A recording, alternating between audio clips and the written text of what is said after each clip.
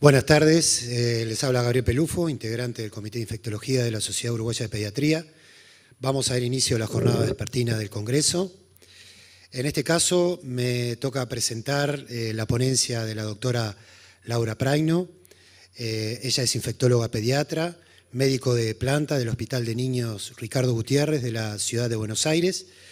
Ya lo voy a dejar con ella, que nos va a hablar de infecciones severas por estafilococo aureus en la era de COVID-19.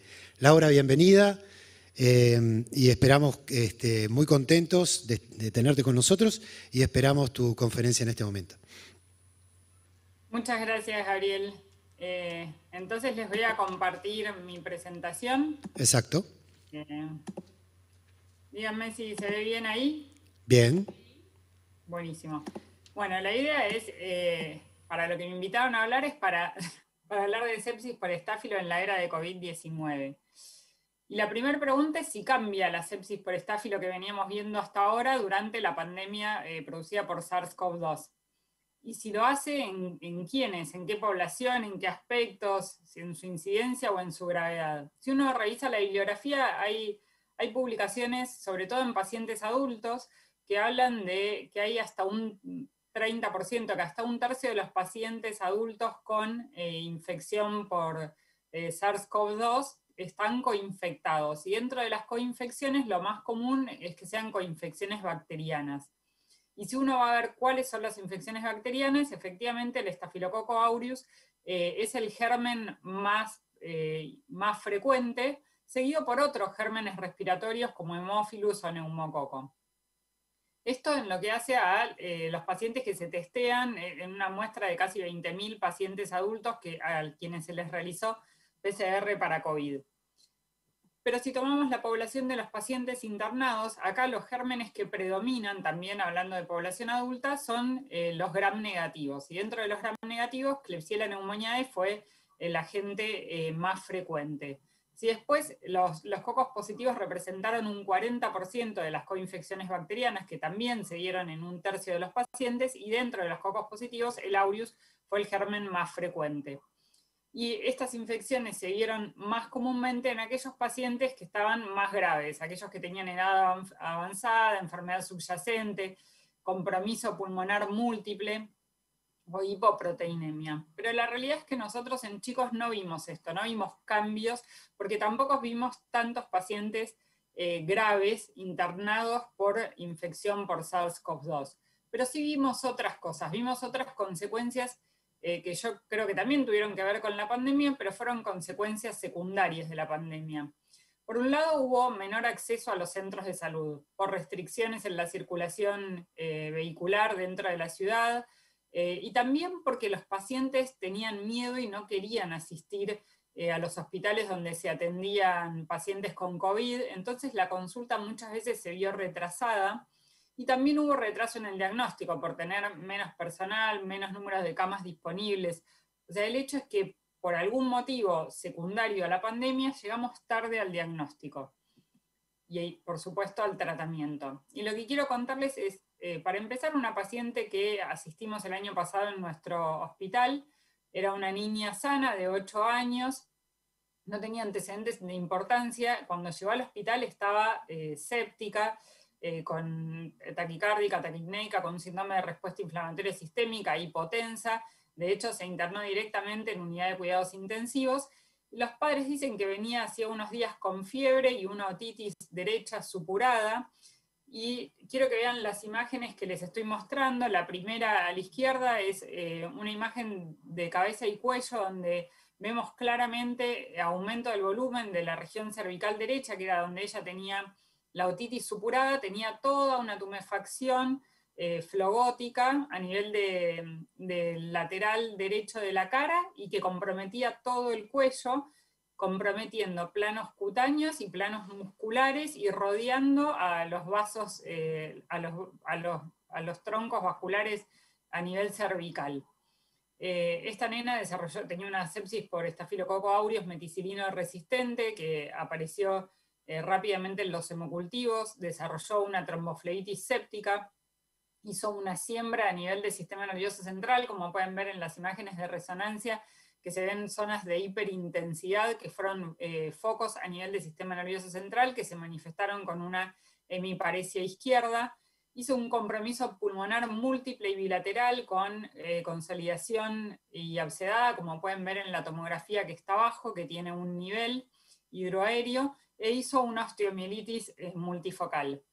La verdad es que el manejo fue agresivo, rápido, eh, y la paciente respondió bien, porque era una niña previamente sana, y su evolución, si bien estuvo mucho tiempo internada, sobre todo por el foco neurológico, fue favorable y la hemos seguido en consultorio. La última vez que la vi fue la semana pasada y la verdad es que estaba muy bien y no parece tener secuelas en este momento. Pero si vamos a hablar de infecciones graves por estáfilo, yo creo que tenemos que dividir el abordaje en tres momentos. Una evaluación inicial, una respuesta terapéutica, que vamos a ver cuándo y cómo, y después una evaluación como a largo plazo. En la evaluación inicial, nuestro objetivo es ver qué paciente tenemos adelante, qué riesgo tiene ese paciente de evolucionar mal, cuánto riesgo tiene de bacteriemia, cuánto riesgo tiene de mortalidad. Y para esto vamos a tener parámetros clínicos y parámetros de laboratorio. Y vamos a definir un primer tratamiento que va a ser tanto clínico como quirúrgico.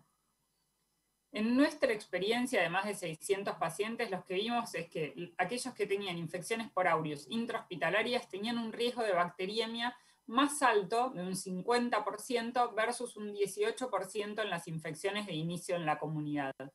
Y dentro de las infecciones intrahospitalarias, las que más bacteriemia dan, por supuesto, fueron aquellas infecciones relacionadas a eh, catéteres vasculares, donde tuvimos casi un 80% de hemocultivos positivos. Por otro lado, si pensamos en las infecciones de inicio en la comunidad, que son la mayoría de las que se internan en el hospital, los pacientes que al momento del ingreso tienen más de un parénquima comprometido tuvieron un, casi un 50% de bacteriemia, seguido por aquellos pacientes que tenían infecciones musculoesqueléticas o compromiso respiratorio, que tuvieron cerca de un tercio de hemocultivos positivos. Y en el otro extremo están las infecciones que se limitan al plano cutáneo, eh, donde vimos que la frecuencia de bacteriemia era menor al 10% cuáles fueron para nosotros los factores de, riesgo para, necesitar internación en unidad de cuidados intensivos en infecciones por audios de inicio en la comunidad. Sobre 501 pacientes los que vimos fue que aquellos que tenían enfermedad multifocal al ingreso o hemocultivos positivos eran los que iban a tener más riesgo de ingreso a UCI. Y por otro lado, el único factor de riesgo de mortalidad que encontramos fue el compromiso respiratorio quiero traerles ahora un trabajo eh, publicado en Asunción, Paraguay, eh, donde también se evaluaron cuáles fueron los factores pronósticos de gravedad en infecciones invasivas por Staphylo aureus de inicio en la comunidad, y van a ver que es muy parecido a lo que vimos nosotros. La presencia de neumonía, enfermedad multifocal o bacteriemia se asociaron a mayor riesgo de ingreso a UCI ellos encontraron que la meticigna resistencia también era un factor de riesgo que para nosotros la verdad es que no, esto no, lo hemos podido demostrar, no nos representó un factor de riesgo. Y después en celeste van a ver algunos factores del laboratorio, que creo que para lo que más sirven es para pensar qué parámetros de laboratorio quiero pedir yo al ingreso. Y al igual que los parámetros que se usan para muchos scores de sepsis, la leucopenia, la anemia grave, la trombocitopenia, la alteración del laboratorio hepático, la acidosis metabólica, el tiempo, tiempo de protrombina alterado y la hipoalbuminemia fueron factores de riesgo de necesitar unidad de cuidados intensivos. Y esto es quizás más, en este momento, eh, solo usado para, para investigación, pero quizás en algún momento eh, tengamos disponibilidad para usarlo en, el manejo clínico de los pacientes, pero también se han estudiado, y sobre todo en pacientes adultos, cuáles citoquinas estaban eh, más marcaban que el paciente estaba más grave. Este es un estudio eh, publicado en pacientes adultos, 160 pacientes con bacteriemia por Staphylococcus aureus. Se estudiaron varias citoquinas y lo que se vio es que la interleuquina 17A y la interleuquina 10 elevadas eran los, los parámetros que más se asociaban eh, a una mortalidad atribuible a la infección estafilocóxica. Entonces, dijimos que vamos a evaluar inicialmente al paciente, la clínica, quienes tienen compromiso multifocal, quienes tienen infecciones con mayor riesgo de bacteriemia, quienes tienen compromiso pulmonar, son todos los pacientes que nos tienen que preocupar, parámetros de laboratorio y tener los hemocultivos positivos. ¿Cómo vamos a manejar inicialmente ese paciente? El abordaje quirúrgico es fundamental. El drenaje de focos purulentos y el retiro de los cuerpos extraños y los materiales protésicos son fundamentales en el tratamiento de la infección y la no erradicación del foco de infección eh, se asocia a mayor tasa, a una bacteriemia persistente y a mayor mortalidad, como podemos ver en este trabajo realizado en pacientes adultos, donde eh, la no erradicación del foco tiene un OR de 3,12. Eso con respecto al drenaje. Con respecto a la terapia antibiótica, sabemos que la droga eh, de primera línea para el tratamiento de estas infecciones es la vancomicina. La vancomicina tiene la gran ventaja de ser una droga ampliamente conocida por todos, de bajo costo y prácticamente, bueno, en nuestro medio no tenemos resistencia de aureus a vancomicina, pero tiene algunas desventajas. Es una droga bactericida lenta que penetra mal en algunos tejidos como el sistema nervioso central o como el pulmón tiene una farmacocinética errática y puede tener toxicidad, sobre todo renal, con dosis altas. Entonces, tenemos algunas opciones para tratarla. Podemos indicar una dosis de carga, podemos combinar con otras drogas o podemos plantearnos la posibilidad de asociar o derrotar a nuevos esquemas antibióticos. Pero la verdad es que hoy por hoy la vancomicina es la droga de inicio para el tratamiento de infecciones graves por estafilococo aureus. Ahora, si elegimos vancomicina, se ha hablado mucho qué es lo que le va a dar más eficacia a la vancomicina. Y en adultos estamos acostumbrados a hablar de que queremos obtener un valle entre 15 y 20 para que eh, la droga sea más efectiva. La verdad es que esto no hemos logrado eh, verlo en, en, pacientes pediátricos y les traigo un trabajo publicado por el doctor Kaplan en 2016, donde él evaluó 341 niños con bacteriemia por estáfilo a los que se les hizo un control en valle en sus primeras 96 horas. Y lo que vio es que aquellos niños que tenían una concentración en valle menor a 10, entre 10 y 15 o mayor a 15, tuvieron igual evolución en cuanto a la duración de la bacteriemia, la resolución de la fiebre o la duración de la internación. Pero aquellos que tenían valles más altos tuvieron con mayor frecuencia un fallo renal agudo siendo la, frecuencia de insuficiencia renal o, de caída eh, de, la función renal de 3% en los que tenían un valle de 10, del 9% en los que tenían un valle entre 10 y 15 y del 20% en aquellos que tenían un valle mayor a 15. O sea que no estamos seguros, o sea, lo, lo único que podemos decir hoy es que a mayor concentración en valle tenemos más toxicidad, pero no mayor eficacia. Ahora dijimos que ya tenemos al paciente vamos como de riesgo, decidimos drenar el foco y le pusimos vancomicina, que es la droga de primera línea. Tenemos que evaluar esta segunda etapa, que es la respuesta terapéutica. ¿Hubo progresión local de la infección? ¿Aparecieron impactos a distancia? ¿El paciente resolvió la fiebre? ¿Esterilizó los hemocultivos? Todo esto es la revaloración terapéutica que vamos a hacer. ¿Cuándo hacerla? Las guías de ITSA del 2011 hablaban de bacteriemia persistente, o sea, mala evolución de la infección, poniendo esta bandera roja en el día 7 de tratamiento. La pregunta es si esto sigue siendo válido. Si uno busca la bibliografía, uno encuentra distintos trabajos, van a ver acá en esta tabla quién es el autor, la fecha de publicación y cuántos días ellos toman para hablar de bacteriemia persistente. Y vemos trabajos en niños que hablan de cuatro, tres días, incluso un trabajo realizado en adultos y publicado el año pasado que habla de que con dos días ya considera que esa bacteriemia es una bacteriemia persistente. ¿Por qué? Porque lo primero que tenemos que preguntarnos es cuánto es esperable que dure la bacteriemia en niños. Este trabajo publicado el, año pasado lo que nos muestra es que el 84% de los niños resuelve la bacteriemia en las primeras 48 horas. De hecho, eh, la, gran mayoría de los pacientes los resuelve en 24 horas. Pero bueno, sabemos que nos queda solo un 15% de chicos que al tercer día de internación todavía tienen los hemocultivos positivos. Y lo que nosotros vimos en, un trabajo que realizamos en pacientes con infecciones por aureus de inicio en la comunidad eh, y bacteriemia, es que a más días de hemocultivos positivos, mayor era el riesgo eh, de impacto a distancia. Entonces, los pacientes que esterilizaban sus hemocultivos en las primeras 72 horas tenían un 6% de riesgo de impacto a distancia. Aquellos que lo hacían entre el cuarto y el sexto día, un 23%. Y aquellos que lo hacían en la segunda semana de tratamiento, o sea, después de, de siete o más días de bacteriemia, tenían un 80% de riesgo de impacto a distancia. Como que no podemos esperar siete días para decir que ese paciente tiene una bacteriemia persistente porque sabemos que le va a ir mal.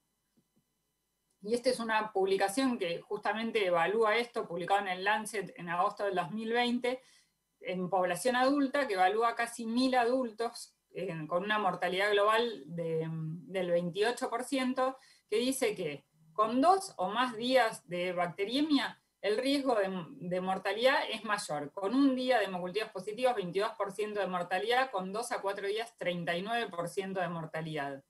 Y cuando ellos evalúan los focos metastásicos, también ven que con un día de bacteriemia tienen un 6% de focos metastásicos, igual que nos pasaba a nosotros en el hospital, y con dos o más días el impacto a distancia se duplicaba. Entonces plantean que dos días ya debería considerarse como una eh, bacteriemia persistente. Ahora, si pensamos en impactos a distancia, ¿cuáles son los focos más frecuentemente comprometidos? En un estudio observacional que realizamos nosotros entre el 2011 y el 2013, lo que vimos es que eh, tuvimos un 11% de impacto a distancia y que los focos más comúnmente comprometidos eran el respiratorio y el osteoarticular sinceramente yo creo que ese trabajo que era observacional, donde nosotros no hacíamos en ese momento eh, radiografía de tórax de rutina a todos los pacientes con bacteriemia persistente por estáfilo, quizás tengamos un subregistro del foco respiratorio, que es el que la bibliografía reporta como el, el foco de impacto a distancia más frecuente. Entonces, la evaluación de la respuesta terapéutica tiene que ser temprana y si el cuadro no mejoró en las primeras 48 horas, tenemos que saber que ese paciente tiene un riesgo aumentado de complicaciones. Tenemos que actuar de manera agresiva y rápida y tomar todas las acciones que sean necesarias para resolver lo antes posible la bacteriemia. Ahora, si en esa segunda evaluación el paciente respondió bien, vamos a seguir igual. Si no, no le esterilizó los hemocultivos, está febril, mejora su estado general eh, y no tiene toxicidad a drogas, seguimos con el mismo tratamiento. Si el paciente evoluciona mal o persiste con hemocultivos positivos, ¿qué opciones tenemos? Esperar y no hacer nada no sería una opción. Pero podemos cambiar el antibiótico, podemos asociar más de una droga, hay eh, distintas opciones y no está tan claro cuál sería la mejor sí hay algunas cosas que no deberíamos hacer. Asociar aminoglucósidos, lo que, que se ha visto es que se asocia con mayor riesgo de nefrotoxicidad. Este trabajo que les traigo es un trabajo eh, realizado en población adulta. Eh, los pacientes, 116 pacientes, recibieron tratamiento eh, asociado a aminoglucósidos, asociado a una penicilina antiestafilocóxica o vancomicina asociados a genta, versus 120 pacientes que recibieron monoterapia con daptomicina sin el aminoglucósido y lo que se vio es que la tasa de nefrotoxicidad era mucho menor en los que recibían monoterapia que en los que combinaban con aminoglucósidos. Y después hay otro estudio que es muy interesante, que es el estudio ARREST, publicado en 2018, que randomizó a los pacientes que recibían terapia antiestafilocóxica a asociarla o no a rifampicina. 388 pacientes recibieron placebo, la asociación con un placebo, y 370 recibieron asociación con rifampicina. Eh, en este grupo de pacientes no hubo pacientes con eh, material protésico colocado, por lo cual las conclusiones no pueden extrapolarse a esta población, pero en la población evaluada se vio que no hubo diferencias ni en la mortalidad temprana, ni en la tardía, ni en la duración de la bacteriemia. Mientras que los pacientes que recibieron rifampicina sí tuvieron una mejoría precoz de la PCR, pero también tuvieron aparición de aureus resistente a rifampicina y tuvieron más efectos adversos que llevaron a, tener que modificar el tratamiento antibiótico, sobre todo eh, molestias gastrointestinales, falla renal o interacciones farmacológicas. Entonces la rifampicina tampoco parecería eh, aportar beneficios. ¿Qué sí podemos hacer? Podemos usar nuevas drogas. Dentro de las nuevas drogas yo les puse acá ceftarolina, daptomicina y linesolid. Eh, la ceftarolina y la daptomicina son las drogas que más se han utilizado para bacteriemia refractaria, eh, aunque sean drogas de segunda línea, eh, por ser drogas bactericidas rápidas y por penetrar bien en casi todos los tejidos, salvo sistema nervioso central. Con la salvedad de que tenemos que tener en cuenta que la daptomicina se inactiva por el surfactante, entonces cuando hay lesiones pulmonares mayores, no, no, o sea, si hubiera solo embolias sépticas pequeñas con nodulares, no habría problema, pero cuando el compromiso pulmonar es mayor, no puede ser usado como monoterapia. Y la otra opción es combinar antibióticos. Dijimos que estaba en tratamiento con vancomicina o eh, con, algún glicopéptido. ¿Y qué podemos hacer y qué podemos combinar? Dijimos que con aminoglucósidos no, con rifampicina tampoco. Y después hay un montón de publicaciones que estudian algunas combinaciones, la verdad es que ninguna es concluyente, pero la asociación más aceptada es la asociación de un glicopéptido con un betalactámico. Este es un trabajo in vitro que muestra eh, unas curvas, la de arriba de todo es el control de, unas eh, colonias de Staphylococcus aureus, en el medio lo que van a ver son tres curvas de muerte con tratamiento con monoterapia, con daptomicina, con vancomicina o con ceftaroline. Y finalmente en las dos curvas de abajo lo que ven es eh, cuál es la eficacia mucho mayor y cómo baja mucho más rápido el número de colonias cuando se combina. Eh, van a ver en estrellitas la combinación vancomicina-ceftaroline y en cuadraditos la combinación de daptomicina con ceftaroline, que parecería ser la combinación más potente para disminuir el número de unidades formadoras de colonias. Pero esto es in vitro, después hay que ver qué pasa en la vida real. Este es un trabajo chiquitito realizado en 40 pacientes adultos que fueron randomizados a recibir vancomicina o la combinación dapto-ceftaroline, y lo que van a ver en las curvas de muerte es eh, que la mortalidad en, pacientes que recibían eh, monoterapia con vancomicina fue del 26%, que está pintado de color rojo, y van a ver en azul que, no hubo, que hubo cero mortalidad durante el estudio en los pacientes que recibieron la combinación dapto-ceftaroline. Eran pacientes que tenían hemocultivos positivos para SAMR con iguales condiciones basales e igual nivel de interleuquina 10, que como mencionamos antes es un marcador de gravedad. Eh, la salvedad con estos pacientes es que la dosis que se usó de ceftaroline fue, no fue la dosis estándar cada 12 horas, sino la dosis alta cada 8 horas. Y este es otro trabajo, es un retrospectivo que, tiene un montón de limitaciones por su naturaleza de ser un trabajo retrospectivo, que lo que compara es eh, cómo les fue a los pacientes que recibieron esta combinación dapto-ceftaroline versus los que recibieron otros tipos de tratamiento para infección estafilocóxica, eh, de los cuales en realidad el 96% recibió vancomicina y un 4% de pacientes que recibieron monoterapia con dapto. Hay una primera conclusión del trabajo y es que solo el 40%, el 46% de los pacientes que recibían vancomicina completaron su tratamiento con monoterapia con vancomicina, por motivos múltiples, pero el hecho es que más de la mitad de los pacientes tuvo que modificar el tratamiento inicial. Y por otro lado, eh, la mortalidad a 30 días en el esquema combinado dapto-ceftarolina tuvo, eh, la mortalidad fue de 8% versus 14%, y si el foco era endovascular, del 4% versus el 20%, pero no les llega a dar estadísticamente significativo. O sea, es como para prestar atención, pero no llega a ser concluyente y en el gráfico que ven eh, más a la derecha y abajo, lo que ven es la duración de la bacteriemia por estáfilo según cuándo se cambió, eh, cuándo se hizo el switch al tratamiento combinado de aptoceftaroline. Cuanto más tarde se cambió, más tiempo de bacteriemia tuvieron los pacientes. Y finalmente este es otro trabajo retrospectivo en población adulta, eh, de pacientes que recibieron monoterapia con dapto o vancomicina y, eh, versus 400 pacientes, que son los que están eh, pintados de color gris, que recibieron una combinación de dapto o banco con un betalactámico.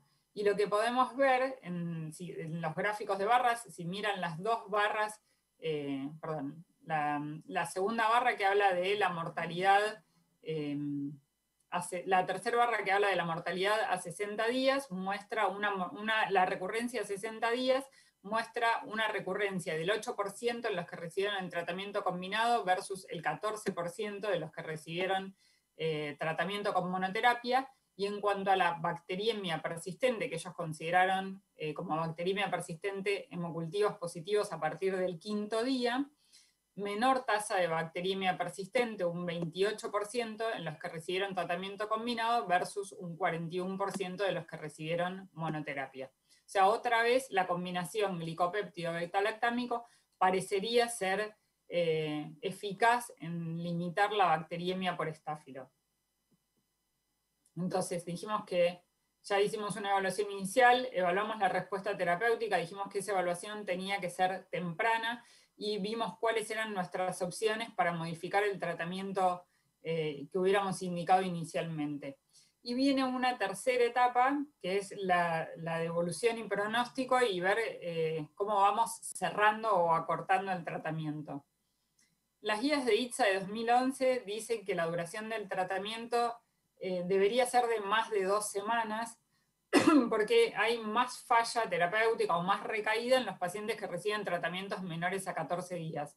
Y postula que en la bacteriemia no complicada, una duración de dos semanas sería recomendable sí y todo un listado de cosas eh, que, lo que hacen es enfatizar que es una bacteriemia no complicada, que no haya impacto a distancia, que no haya endocarditis, que no haya prótesis, que los hemocultivos negativicen rápido. Esto eh, pone como esta pauta de 14 días de tratamiento como mínimo para bacteriemia por estáfilo. Pero estamos en la era de querer acortar los tratamientos. Y la verdad es que si uno busca la bibliografía, hoy Hoy, 2021, no tenemos todavía una conclusión de si se puede hacer o no un tratamiento corto para, eh, para bacteriemia por estáfilo. Sí hay un protocolo muy interesante en pacientes adultos, es un randomizado, aleatorizado a recibir 7 o 14 días de tratamiento eh, para bacteriemia por estafilococo aureus, que estima completarse, este estudio, si lo buscan en Clinical Trials, estima completarse para fines de este año. Así que veremos si las conclusiones de este estudio nos avalan a hacer tratamientos más cortitos endovenosos y poder externar eh, antes a los pacientes. Sí tenemos que tener en cuenta, controlar y seguir las secuelas a largo plazo, que muchas veces son a muy largo plazo, como estas que les estoy marcando acá, asimetrías de miembros, fracturas patológicas, deterioro de la función pulmonar o cicatrices extensas. Para nosotros en el hospital eh, la mortalidad por infección grave por estafilococo aureus es baja, pero la morbilidad puede ser muy alta.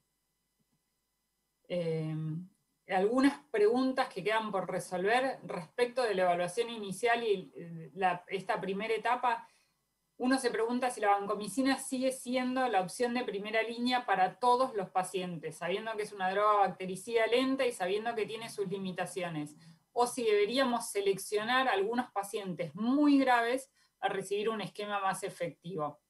Respecto a la, respuesta terapéutica, dijimos que ya está claro que la evaluación terapéutica tiene que ser temprana, pero todavía no estamos seguros de cuál es la mejor alternativa frente al fallo terapéutico. Y con respecto a la evolución y el pronóstico, ¿es posible hacer tratamientos más cortos endovenosos? Y sobre todo, ¿es posible hacerlos en nuestro medio, en Latinoamérica, en hospital público? Bueno, son todas cosas que quedan por definir. Y antes de terminar, quería contarles una última situación clínica. Eh, en este caso se trata de una paciente que vimos en el hospital, sexo femenino, sana, de dos meses de edad, la mamá relata que había consultado por rinorrea y un registro de fiebre en el contexto de la pandemia eh, de SARS-CoV-2. Se internó para hacerse un hisopado nasal por sospecha de COVID. Em, el hisopado nasal, la madre dice que, fue muy dificultoso, que no podían tomarle la muestra, que la nena lloró mucho, que en las, que en, las horas o días posteriores a la toma de muestra eh, se le puso toda la nariz colorada, de hecho nos trajo fotos, tenía edema y eritema eh, nasal, la PCR fue negativa, la fiebre resolvió, así que se fue de alta eh, a las 48 horas, y dos días después evoluciona con fiebre, irritabilidad, fontanera tensa, y se interna en el hospital con una meningitis y bacteriemia por Staphylococcus aureus meticilino sensible. Al momento del ingreso, o sea, pueden ver esa tomografía donde se ve un área eh, de hipodensidad que podría corresponder a isquemia o a cerebritis. La nena tenía un estrabismo y una hemiparesia izquierda y una dificultad respiratoria grave, y como pueden ver en la tomografía de tórax, el impacto pulmonar múltiple. Es un paciente puntual que, no se ha repetido por suerte, pero creo que tuvo que ver eh, el hisopado nasal agresivo, a veces difícil de hacer cuando uno está vestido y cambiado para mantener las normas eh, de bioseguridad que corresponden, eh, en un bebé muy chiquitito. Creo que si bien COVID es en lo primero que pensamos y lo primero que tratamos de descartar, no tenemos que perdernos de, que uno de nuestros principios es no dañar al paciente ni cuando lo estudiamos ni cuando lo tratamos y que tenemos que tener en cuenta que hay otras patologías en las que no podemos retrasarnos eh, en, su diagnóstico y tratamiento por estar cuidando la posibilidad de COVID. Eh, recordemos que nuestro objetivo es lograr un diagnóstico temprano, indicar un tratamiento eficaz reducir la mortalidad y sobre todo reducir las secuelas a corto y largo plazo para permitir que los chicos recuperen su salud tanto y tan pronto como sea posible. Muchas gracias. Voy a dejar de compartir. Muchas gracias, Laura. Felicitaciones. Excelente exposición. Sabés, Laura, que están llegando unas cuantas preguntas y si contamos con tu amabilidad para responderlas, yo te las voy leyendo. Sí. Bueno, aquí tenemos una. Eh, doctora Praino, ¿cuál es su experiencia con linesolida en el tratamiento de infecciones severas por estafilococo aureus? Nosotros hemos usado el sobre todo para foco pulmonar o sistema nervioso central. La respuesta clínica fue buena, pero la verdad es que eh, para bacteriemia eh, lo usamos combinado con algún otro antibiótico. O sea, por ejemplo, Daptol y Nesolid. O sea, usamos, elegimos un antibiótico bactericida. Hay publicaciones y hay experiencia en el uso del inesolid en adultos aún en bacteriemia por Staphylococcus aureus. En adultos es una droga aprobada para bacteriemia, pero nosotros no la usamos como monoterapia eh, cuando tenemos pacientes con hemos positivos. Eh, sí lo hemos usado para pulmón bien y la verdad es que no hemos tenido en tratamientos cortos toxicidad que nos limitara el tratamiento. Muchas gracias. Te vamos a hacer otra pregunta, que es, con respecto a la epidemiología de ustedes, se refiere probablemente a, los colegas en Argentina o específicamente en el hospital eh, Gutiérrez, ¿sigue predominando el estafilococo aureus meticilino resistente comunitario? Porque actualmente en Uruguay predomina el meticilino sensible, con lo cual podemos utilizar para tratamientos cefalosporinos. ¿Ustedes no hacen decalage con el resultado de la sensibilidad? Esta es una pregunta de uno de los participantes de tu conferencia. Está buenísimo. Eh, la verdad es que nosotros estamos como atrasados en el tiempo respecto a ustedes, porque seguimos teniendo auris medicina resistente en más del 50% de los pacientes, aún este año, eh, hasta fines del año pasado, que yo comparé con el periodo 2010-2012, no, no descendió la tasa de meticilina resistencia, más del 50% de lo que tenemos es AMR, y tenemos todavía poquita resistencia acompañante, la resistencia clinda ronda cerca del 10%, lo único que vimos que aumentó fue la resistencia genta, eh, y casi no tenemos resistencia a trimetroprima sulfa.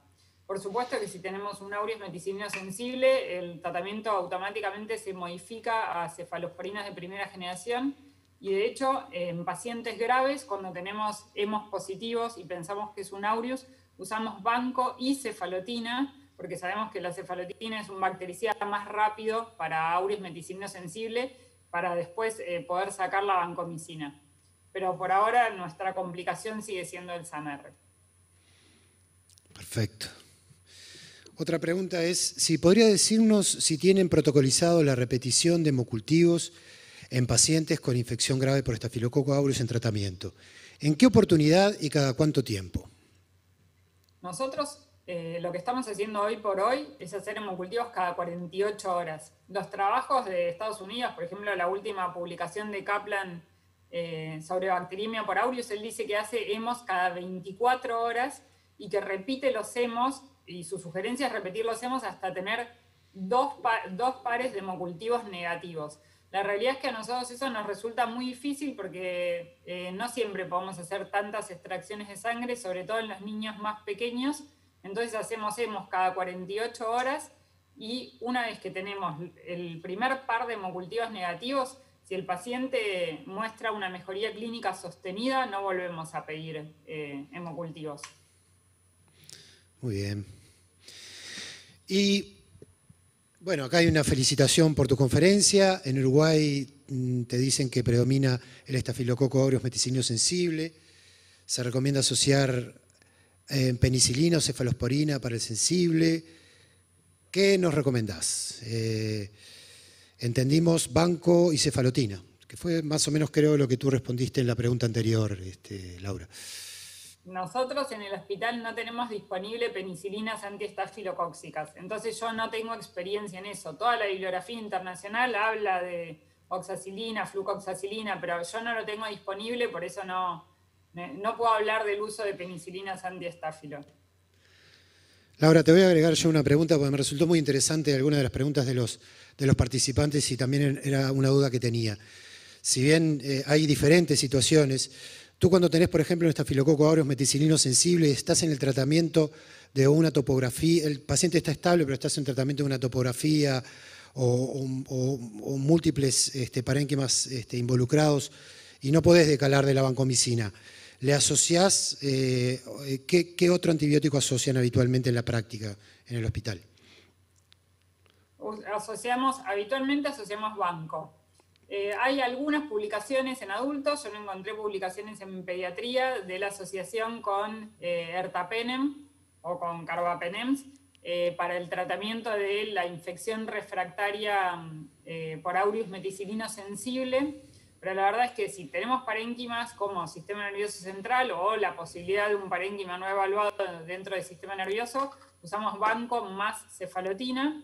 Y si no, lo que tratamos de hacer es acortar el intervalo interdosis de la cefalotina y dar eh, dosis máxima. Perfecto. Muchísimas gracias, muchísimas gracias. Este, bueno, eh, eh, felicitaciones. Acá está la profesora Pires que te manda este, un gran saludo, también Mónica Pujadas, este, demás integrantes del comité que están aquí. Este, la verdad que fue buenísima tu exposición, muy clara este, muy nutrida de conceptos.